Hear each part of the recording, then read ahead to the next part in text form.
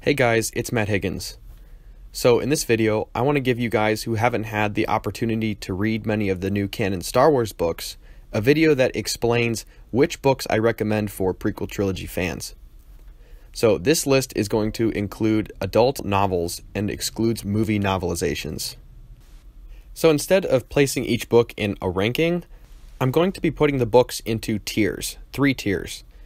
Tier 3 novels are loosely connected. This means the novel has relatively less prequel connections than many of the other novels. Tier 2 novels are connected, meaning that the novel has multiple tie ins to the prequel trilogy. And finally, Tier 1 novels are prequel based novels or novels that are set partly in the prequel trilogy. So, starting off with Tier 3, our first novel is Lost Stars. Lost Stars is a very good read, but has few prequel references and is primarily based on the Imperial perspective. Next up, we have Heir to the Jedi, which focuses on Luke Skywalker after the destruction of the first Death Star. This novel has been criticized for not tying into the main storyline and is somewhat disjointed. Next, we have A New Dawn. A New Dawn is a prequel novel to the Star Wars Rebels TV series. The exposition of this novel does take place during the prequel era. The first Aftermath novel features several prequel era planets and a modified battle droid. But overall, the first Aftermath book is not as heavy with prequel references as the following two books in the trilogy. Battlefront Twilight Company was a novel that accompanied the Star Wars Battlefront video game that followed a group of rebel soldiers called Twilight Company.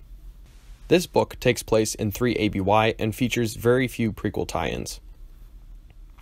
The next novel is Phasma, and as you guessed, Phasma focuses entirely on the origin of Captain Phasma, thus, it is not as heavily tied into the prequel trilogy as other novels are. The last novel in the Tier 3 category is Last Shot. This story takes place partly before Solo, a Star Wars story, and partly after Return of the Jedi, but is relatively light on prequel tie ins. Moving on to Tier 2, the first novel in this list is Tarkin.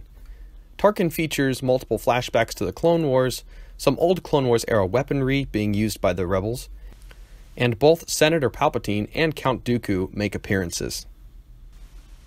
Lords of the Sith is the next novel. This novel focuses on Palpatine and Vader's relationship, and takes place mostly on Ryloth and features many Clone Wars connections. Star Wars Bloodline focuses on the New Republic in the context of the Galactic Republic's mistakes. Leia is the main character in this novel, but this novel features many prequel era aliens. Bail Organa ends up becoming a key figure in the story, and also features many representatives of prequel era planets. The next two novels are Aftermath Life Debt and Aftermath Empire's End. Both of these novels feature Kashyyyk heavily. Naboo also makes several appearances, and a few other Clone Wars era planets are in the mix as well. Battlefront 2 Inferno Squad also makes this list with a Clone Wars character playing a main character. The last novel on the Tier 2 list is Thrawn. Thrawn is an excellent read and features many old Clone Wars era droids and weaponry that play a real integral part in driving the story forward.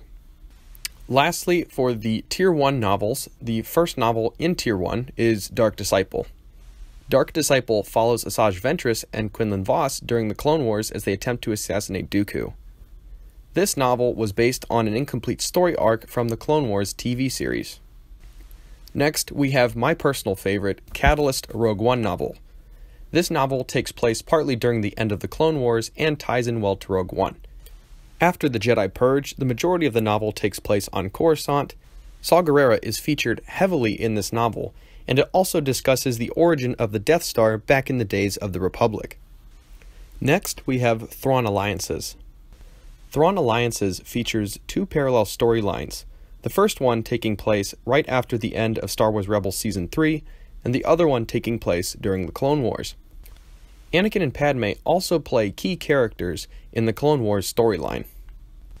Next up, we have the just newly released Queen's Shadow. This novel focuses on Queen Amidala's transition from Queen to Galactic Senator.